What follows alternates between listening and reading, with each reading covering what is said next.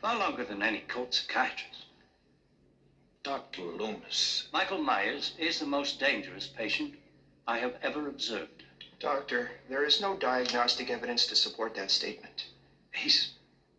he's covering up. This catatonia is, is a conscious act. There's an instinctive force within him. He's waiting.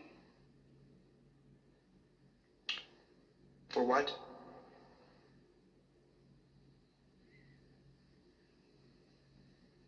I don't know. You fooled them, haven't you, Mike?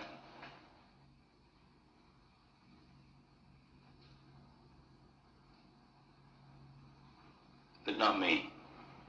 Fifteen years ago, I, I was told there was nothing left. No reason, no uh, conscience, no understanding, and even the most rudimentary sense of life or death, of, good or evil, right or wrong.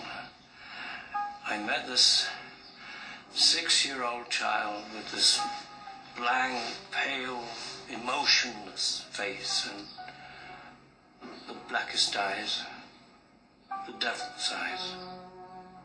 I spent eight years trying to reach him, another seven trying to keep him locked up